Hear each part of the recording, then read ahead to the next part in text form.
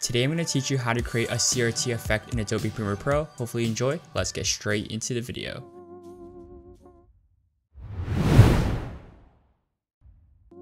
First go to your effects panel, go to video effects, distort and lens distortion and drag it onto your clip. Now if we increase curvature, it'll emulate a CRT TV screen where the edges are a little bit distorted inward. And you could go ahead and uncheck fill alpha or set the color as black I'm gonna make this a little more subtle and set it at 16. Next, you want to apply the effect called mosaic and drag it onto your clip. You want to check on sharp colors and you want to increase this number to about 400. So we did 400 for both. So by applying mosaic, we actually pixelate the image very slightly. And I'm gonna drag mosaic on top of lens distortion.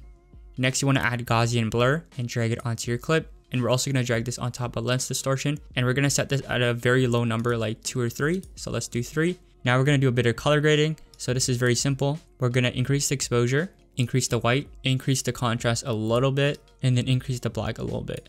And in creative, we're to just turn down vibrance a tad bit. And we're to go over to shadow and tint.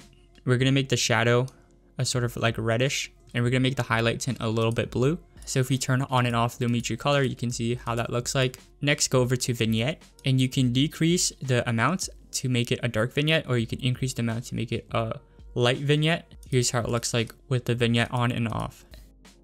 Next, we're going to apply the main effect and we're going to use the effect called grid and drag it onto our clip. First thing you want to do is change the blend mode to overlay and you want to set the color as black.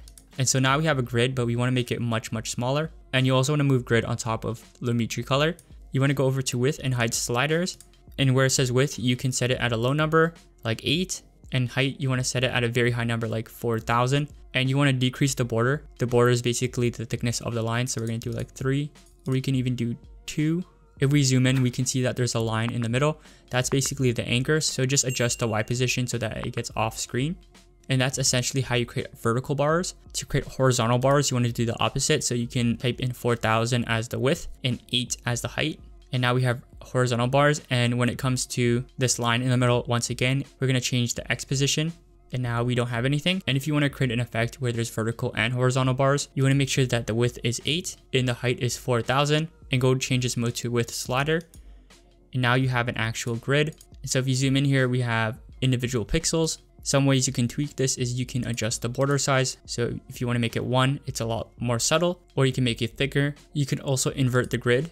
You can also change the color of the bars if you want. So in this case, we have red color. And so if we zoom in, it has a different look to it. You can also add the noise effect and make this very subtle as well. And you want to make sure this is on top of Lumetri color. And so I'm gonna so I'm gonna increase it. So I'm gonna set it at around 15. Now we're gonna add flickering and we're gonna change the settings so that they're very subtle. So I'm gonna search up strobe light right here and drag it onto our clip. So to make this very subtle, we want to make blend with original a really high number like 95. For strobe duration and period, I'm going to set them both at 1. For random strobe probability, we want to set it around 35 to 50. I'm also going to change the strobe to makes layer transparent and change the strobe operator to add.